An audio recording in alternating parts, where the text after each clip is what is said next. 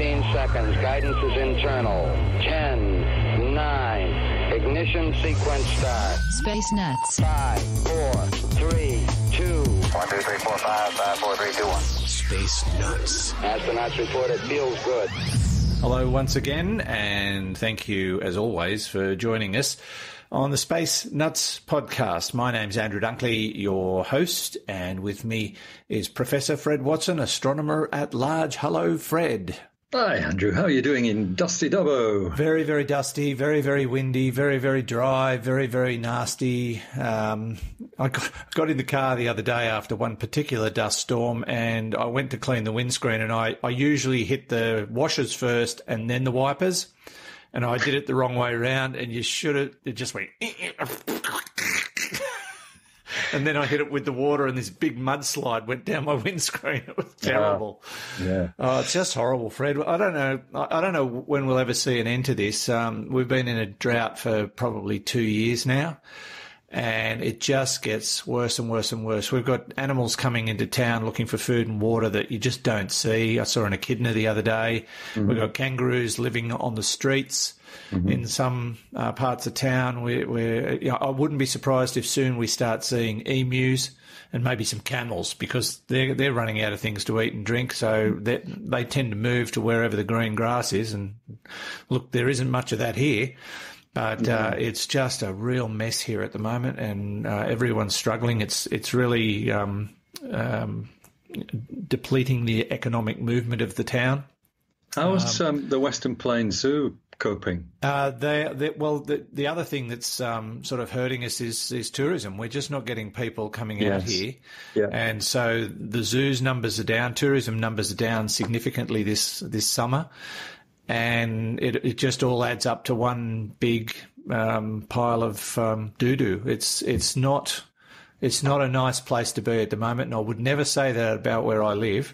I've been here 25 years and I love it, but right now it's just like something out of um, a, an apocalyptic movie. It, uh, you look at the sky, and just about every other day it's orange. If it's not orange, it's it's sort of blue with smoke from the fires. Uh, I, you know, we we have probably one clear day a week.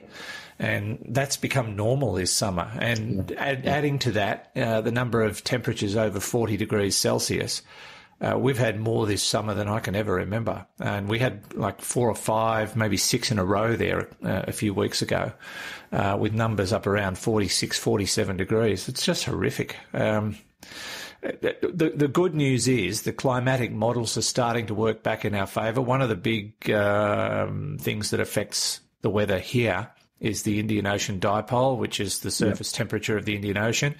And for a, for a while there, it was like four degrees above average, which is, you know, means dry weather.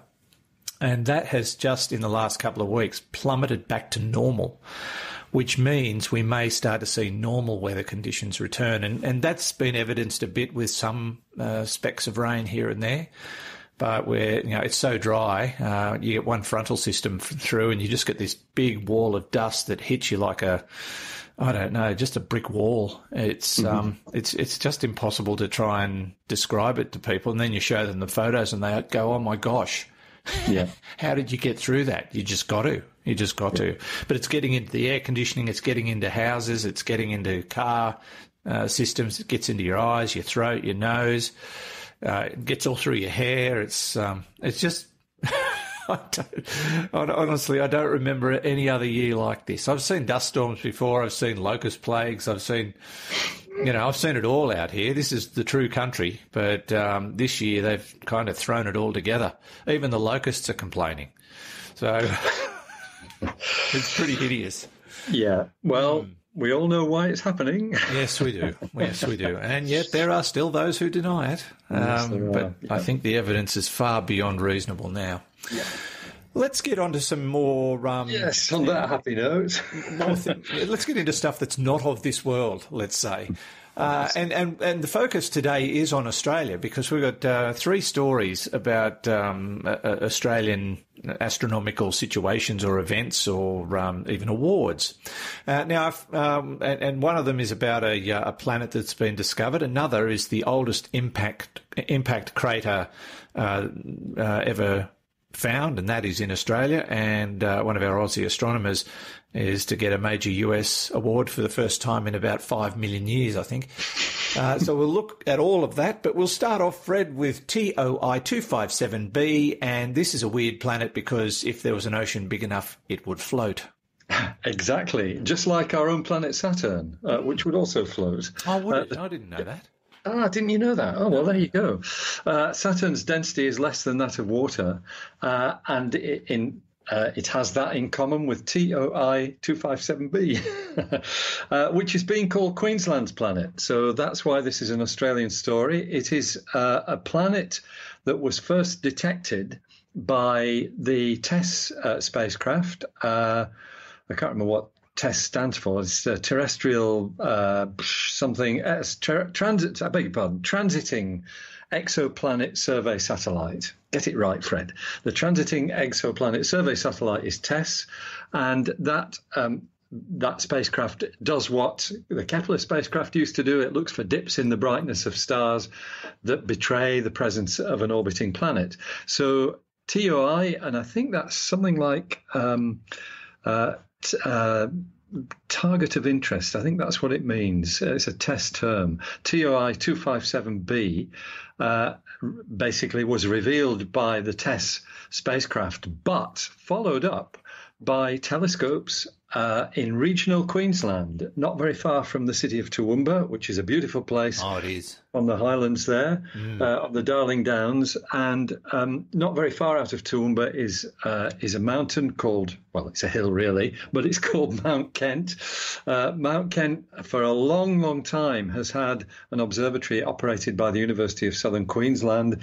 I've had a little bit to do with that observatory from time to time because I am very, um, uh, very happy to have a, a, close connection with the University of Southern Queensland. I've got an adjunct appointment there, which I'm very proud of. Yes. Uh, so Mount Kent is uh, it's on a good site uh, and has now state of the art uh, equipment, uh, f- an array of five 70 centimeter. What's that? Uh, that's kind of 30 feet or thereabouts, something like that. Um, robotic telescopes. Um, they're, they're, they're, big telescopes, um, you know, by the, these sorts of standards. And they're part of a project called Minerva Australis. So this is the Southern Hemisphere version of Minerva. Minerva 2 is an acronym, but I can't remember what it stands for. Never mind all that. The news is that um, the, with the Minerva follow up, of uh, TOI 257b, uh, it's not just a discovery. This is learning about the physical features mm. of uh, of uh, the, this planet. And as the lead author on the paper that's reported all this, uh, Dr. Brett Addison from University of Southern Queensland, basically uh, he said this is a significant discovery, not just for USQ and Queensland, but as an example of cool and unusual planet types. I think by cool there he means interesting rather than low, yes, in, low yes. in temperature. uh, TOI 257b is an example of what astronomers call sub-Saturns, and they're planets that are larger than Neptune and smaller than Saturn. And of course, there aren't any examples of that within our own solar system. Uh, uh, it's uh, as as um, Brett says, the universe is a quirky and diverse place mm. with broad classes of planets such as sub-Saturns, super Earths, and mini Neptunes that we don't have here at home. Uh, warm sub-Saturns like TOI 257b are rare among the currently known exoplanets. And that's true, actually, of, of all these slightly odd things, the super Earths and the and the mini Neptunes. They, these are fairly rare categories. So that the, the two categories of planet that we find in our own solar system, which are uh, basically rock, small rocky planets and large gas planets, uh, they are really the commonest classes of planets that we find uh, out there in space. And things that don't quite fit into that, whilst they exist, are rare. And so TOI, uh, TOI 257b is one example of one of these rarities. So this is, you know, it's a great story. It's great news. The fact that we now know its density is less than that of water, that marks it out as being something pretty interesting. Yeah. Um, but there's more to come, I think, Andrew, because um, the authors of this paper suggest that their data shows strong evidence for a second planet in the system, TOI 257c. Yes, that's right, and they hope to confirm that uh, within this year. So uh, we will, um, you know, we'll hear more about uh, this. I'm, I'm, sure from University of Southern Queensland. As I said, it's a great Australian story. Um, the, uh, the, the two more comments uh, made by the authors of this paper: uh, the the cloud tops of this planet are not um, particularly cool. They reach at least 1300 degrees Celsius, uh, which is certainly more than the cloud tops of the Earth. So it's Yeah. probably not that um, habitable a place. Um, and there's an in joke here as well. It may be a Queenslander, but forget calling it Planet Maroon. The, the maroon's the colour of Queensland. Is it? It's one of these silly sporting things, isn't Yes, it? I yeah, can't remember. maroon is the official sporting colour of Queensland. Oh, Um, thank you very much, yeah, yes. and sky blue is the uh, official sporting colour of New South Wales. Wales, yeah. so that, yes. forget forget calling it Planet Maroon. It can only be officially named, uh, as can all bodies in the in the universe, by the International Astronomical Union. Probably most of the universe doesn't know about that, but um, certainly on Earth, uh, the International Astronomical Union is the place where things get named. Well, to be honest, if the Queenslanders were going to give a planet a name, it wouldn't be Maroon, it would be Wally or something like that, named after their most famous footballers. There you go. I'm pretty sure. Yes. Uh, now, there's another twist to this little story, is there not? Or am I getting it mixed up with another story we're yet to do? Well, one of the one of my colleagues at USQ, uh, whose name is Jonty Horner, a fantastic science communicator himself. I often hear him on the radio. Uh, his mother is one of our fans. Hey, hello, Mrs. Jonty. yes, uh, well, that's right. And she, but she lives.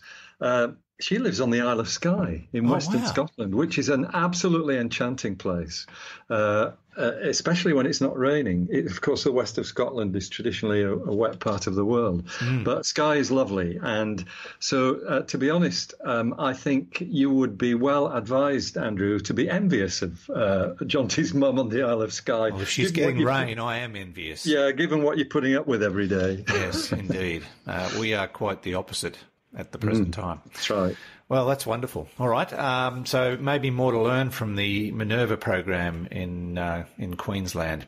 This is Space Nuts with Andrew Dunkley and Fred Watson. Zero G, and I feel fine. Space Nuts. Now, Fred, um, I'm pleased to say that our numbers on YouTube are rising rapidly, and I uh, I can see we're not we're not at a thousand yet, but I, I would envisage by next week we probably will have tipped the scale. Way. Uh, but we're we're moving up rapidly. So uh, if you would like to follow us uh, and subscribe on our YouTube channel, you can do so by just uh, doing a search for Space Nuts on YouTube. I think you'll also find a really old, terrible sci-fi movie named Space Nuts too if you search in the wrong place. But uh, YouTube.com slash C slash Space Nuts, you'll find us and subscribe, and you can listen to everything, everything there. Um, Including the movie. yeah, including the, um, but uh, but not the um, bonus material. That's available via Patreon. We'll talk about that later. But uh, YouTube, we're we're ever ever more encroaching on the um, on the on the 1000, which is fantastic. Now, um, uh, keeping the Australian flavour of this week's podcast uh, going, uh, Fred, there's a, a, a place called Yarra Yarrabubba. It's an impact uh, site in Western Australia, and they now think it's the oldest impact site on Earth, which is rather fascinating. That's right. Uh, and in fact, uh, you know, it's the, the dating that has been done on this on this impact site, and um, by that I mean dating of the rocks, not dating of people, uh, has um, has a, a really staggering precision. I'm really impressed with the results that are coming from this. Uh, so, um, uh, Yarrabubba, it's in Western Australia. Uh, pretty well central in the state of Western Australia. I don't know. I would guess you know, several, uh, probably eight or nine hundred kilometres from Perth. Uh, probably not that far, actually, from the uh, Murchison station where the square kilometre array is being built. Uh, so, in that neck of the woods. And of course, that. is an extremely stable landscape geologically. It is Um, quite ancient. Uh, landscape. that's and right. For those who are unaware um, that, that may live beyond our shores, Western Australia probably takes up around one third of the continental uh, mass of Australia. It is Yeah. a huge state, massive Yeah. state. and and a lot of it is you know really stable and ancient pieces of Earth's crust. Um, we find, for example, in uh, further north than w- w- where we're talking about now, we find rocks that probably bear the evidence of the very first life that formed on Earth. These are these uh, microbial uh, mats called stromatolites. Um, but that's not what we're talking about. What we're talking about is is a, a place where um, an asteroid, a- pro- probably a moderately sized asteroid. I think we're talking about you know uh, several tens of kilometers here. This thing hit the Earth. It produced a 70 kilometer diameter crater on Earth, um, but uh, uh, it, the evidence of that crater now is kind of buried, if I can put it that way, and that's partly because um, the Earth is a very dynamic planet. We've got weather erosion, and so structures like impact craters, unlike on the Moon, where there are many craters much older than this, um, that the impact craters on Earth get eroded down by weather processes. And actually, on most of the Earth's surface, they've disappeared because of, of plate tectonics. The, uh, the the rocks which bear them have disappeared underneath the nearest continental plate. Uh, as I said, though, this is very ancient rock here in Western Australia, and um, the way you tell that there is an impact crater there is basically by studying the geology. Um, you can tell that there are slight gravitational uh, anomalies. Um, and that uh, you know you can look for um, the kind of crystals that get produced by high temperature impact uh, around the boundary of the of what would have been the crater before it was eroded away. So the evidence that there was an impact here is very strong. But what's new, and the reason why you and I are speaking about this story now, uh, is the dating of this crater. And uh, that is basically uh, results or it's research that has come from studies of the crystals that are within the rocks uh, that, that were impacted by whatever it is that, that hit them. Uh, things uh, like zircon crystals, uh, which can be basically can be um, used as as as clocks to, to work out when an impact or when uh, uh, there was a shock passed through them. Uh, and these zircon crystals have allowed the dating of the Yarrabubba crater to within an accuracy. I did look this up actually in the uh, original paper, but I don't have it in front of me. But I think it's five. The accuracy is five million years. Now that sounds like a lot, um, but uh, the date is 2.229 billion years ago. Wow. Uh, so you're looking at an uncertainty of the, eh, you know, of five in the last number of that. Um, 2.229 billion years uh, with very high precision. Why is that? Um, uh, you know, why is it a record breaker? Because the the the the, the uh, what used to be the earliest known asteroid strike, which is in South Africa, actually, uh, that was actually 200 million years later than this. Uh, so, um, so you know, around about two two billion years ago. So that uh, pushes back the uh, the record for the earliest known impact structure on Earth back to 2.29. Uh, 2.229 billion years, which is round about half the age of the Earth. The Earth is about 4.6. So, what would Earth have been like 2.2 billion Well, years ago? That's where it gets even more interesting because um, the the Earth has gone through a number of periods. I think there are thought to be about five of them when it was basically a snowball. It was covered in ice. Okay. Uh, the the atmospherics were such that the all water on the surface was frozen, uh, and the the planet was basically uh, covered. It was covered in ice. It's sometimes called snowball Earth because of that, as I just said. Um, but um, that that um, I think it was the the well one of those icy periods came to an end round about 2.229 billion years ago. Oh. And so the bow that the authors of this paper are drawing, uh, and I think they're based, uh, I think the principal author is based at NASA Johnson, uh, the Johnson Space Center in Houston. Um, so uh, the, the, the bow that they're drawing is that perhaps this impact lofted enough uh, water vapor into the atmosphere and maybe carbon dioxide as well uh, to change the climate. And, and in other words, to bring the icy period to an end, this period of mass glaciation. Uh, so um, there are people who are saying that's too long a, bro- a bow to draw, uh, but uh, it does look as though that's a reasonably interesting, at least, explanation for that. That uh, that perhaps uh, whatever clouted the Earth at that at time was basically the uh, the thing that caused the Earth to switch climate. Wow. So uh, some are saying that's an absolute, some are saying that's a partial reason, some are saying, nah, something else did it.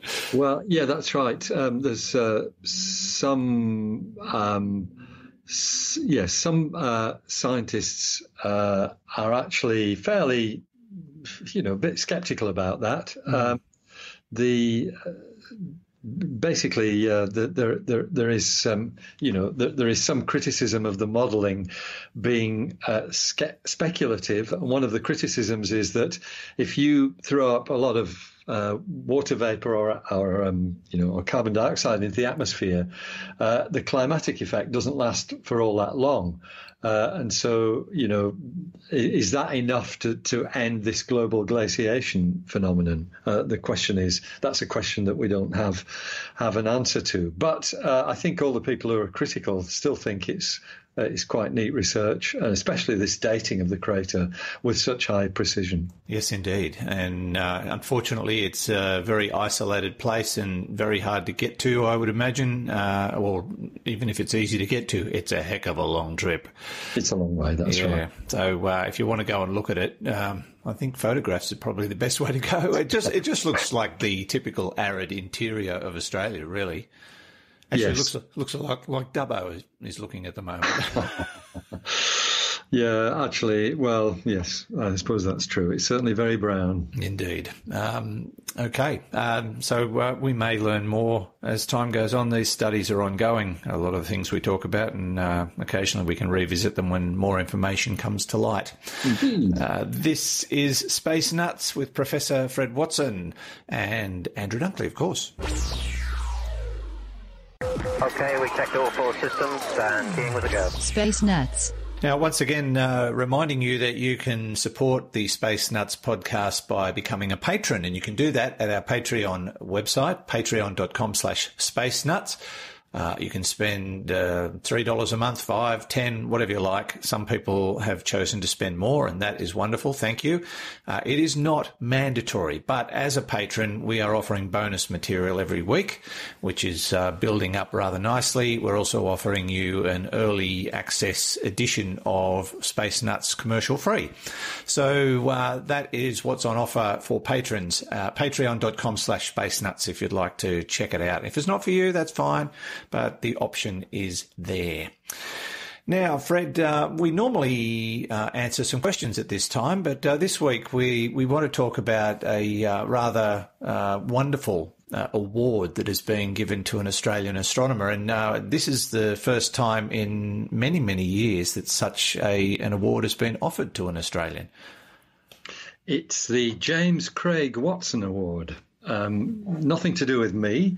Uh, it was uh, named after um, an American Canadian astronomer and has been presented every two years since 1887 uh, by, um, I think it's the, uh, it's actually, the, um, is it the, um, Yes, the National Academy of Science in the USA. So the James Craig Watson Medal uh, is something that recognizes scientists of very high distinction. Uh, and as I said, US National Academy of Science. Uh, it hasn't ever been presented to an Australian. And in fact, it hasn't ever been presented to somebody in the Southern Hemisphere. So this is the first time uh, it's gone to uh, somebody in our country. And its recipient is very, very worthy of the honour. Uh, the recipient is Professor Lisa Kewley, who is, uh, you know, a, a, job title is quite quite extensive. It takes a while to read. It's a couple She's of pages. Professor and, uh, and Australian Research Council Laureate Fellow at the Australian National University. That's in Canberra, of course. Uh, but she's also director of um, something called the Australian Research Council Centre of Excellence in All Sky Astrophysics in Three Dimensions. It's usually known as Astro 3D. I've had a fair bit to do with Astro 3D on and off over the years that it has uh, existed, uh, but Lisa directs it. And what this is all about, so uh, All Sky Astrophysics in 3D, of course, is basically looking at the whole sky, but with the additional dimension of distance in there. Uh, and that doesn't just mean the distance is two objects, it means galaxies as well. Mm. Um, so what she's done, uh, and, and Lisa has a whole, uh, you know, track record of, of awards and uh, fellowships. Um, but she is uh, an established world leader uh, in the theoretical modeling and observation of star forming and active galaxies. Uh, her seminal contributions, and I'm reading now from the uh, press release, include understanding the gas physics in such galaxies, understanding galaxies containing actively accreting supermassive black holes. That means black holes feeding on the stuff around them, uh, as you know, of course, Andrew, and tracing the star formation and oxygen history of galaxies over the past 12 billion years. So it's, you know, it's big picture stuff. It is. And of course, that feeds directly into our understanding of the way the universe has evolved, the way, uh, the way our uh, our own um, our own galaxy has evolved. So she's done a lot uh, in modelling uh, how these things take place. Uh, the theoretical modelling, uh, as, as I mentioned a minute ago, that's basically been what she's done, and those models fit extraordinarily well to what we observe uh, in the universe. So it's uh, great stuff. And actually, um, you know, the, almost single-handedly in some ways, she's she's transformed uh, the field. Uh, one of the other uh, Lisa's accolades uh, is that she was one of the Astronomy magazine's top 10 rising stars in 2009. And she appeared on national documentaries for the Discovery Channel and the National Geographic Channel. So this is a person whose uh, whose trajectory has been very steeply upwards, and I'm really not surprised that she has received this medal. But it is delightful that she, you know, becomes the first um, person in our hemisphere to get it especially because one of her passions, of course, is you know uh, women in STEM and similar educational activities. It's bringing uh, the kind of science that we do to as broad and as a, as diverse uh, a, a, an audience as possible, and to encourage people from all backgrounds uh, uh, and all ranges of diversity uh, to come in and become scientists themselves. So she's really an inspiring uh, figure in uh, in Australian astronomy. Now, question without notice: it's the James Craig Watson Award. Do you know much about James Craig Watson? Um, only that he has a name very similar to mine. Uh, I have a son called James Watson. Oh, um, yes, you I, do. Yes, I do. I should have checked up on that uh, because I don't actually know what uh, James Craig Watson uh, did. Uh, he, as, as I mentioned, he's an American Canadian astronomer. To uh, basically to uh, set up a bequest of an award, you need to be fairly well heeled. A lot well, of that's, astronomers that's why I, well I brought it up because I thought yeah. you know this is an award that comes with um, you know a couple of dollars attached to it. Yeah, seven dollars fifty, and it. Um, yeah, it, those US dollars or Australian dollars? Probably yeah. US dollars. Uh, but uh, yeah, I, I, wondered where he amassed his fortune. So I will try and check up on that, Andrew. Yeah, but uh, yeah, uh, uh, obviously a, a, a, a very successful man in his time, and we're talking like you know, um, middle of the 1800s, basically, when he was around doing his thing. Uh, and um, yeah, highly successful. So uh, yeah, what a great Okay. award and what great success for her. So I've now followed up on your question. That's can what- answer it. That's, that's an old radio trick called padding. Yeah, yeah, well done. Let me, um, because the press release actually has a note about the James Craig Watson Medal, which is very nice. Handy. It is handy. Um, the James Craig Watson Medal is presented every two years for outstanding contributions to the science of astronomy and carries with it a gold plated bronze medal, Ooh. a $25,000 prize, never mind this, this $7.50, Andrew, and $50,000 to support the recipient's research. Uh, the Watson Medal was established by uh, NAS member um, and prolific Canadian American astronomer James Craig Watson. Watson is credited with discovering 22 asteroids in his lifetime. He published many articles and wrote a popular treatise on comets in 1861 and theoretically in uh, theoretical astronomy in 1868. Isn't that wonderful? Yeah, a notable a notable person, and what a great name! I do like that that surname he's got there. yeah, funny that. Yeah. All right, uh, that is wonderful news. Uh, we'll get back to questions next week. We just thought we needed to um, uh, recognise such a great achievement from uh, someone who's obviously very, very passionate like you, Fred, but uh, has um, has really uh, made some inroads into some of those areas, those those massive areas of astronomy that we so often talk about. So uh, That's right. What a, Exactly. what a, what a great effort. Um, and that'll wrap us up for another week. Uh, I will remind people, however, that you can visit the Space Nuts shop uh, at our website, bitesz.com slash space nuts, and pick yourself up a, uh, a t-shirt or maybe a book. There's a couple of nice books there by one Professor Fred Watson uh, and some other joker. But uh, yeah, have a look and um, if uh, There's one about golf there, isn't there? yeah, uh, Five Irons Don't Float was one of my experimental books. I, I wrote this um, tongue-in-cheek sports psychology book just for fun. Uh, it took me about an hour and a half to write it, um, but it, but it, it, it's based on um, my gathering of knowledge through um, stories I've done on sports psychology and a lot of books I've read on sports psychology, particularly focusing on golf and how to think and how not to lose your mud playing the game. Um, and I, I thought, well, you know, I know this has been done before, but I'll, I'll write a rather tongue-in-cheek, um, somewhat bawdy version of a sports psychology book and, and really take it down to the bottom of the barrel. And and it worked. Right, it's go. only it's only about fifty pages, but um, it's aimed at golfers who basically lose their tempers Right. and how Okay. not to. Um, sadly, as the author, it didn't work for me, but it'll work for somebody.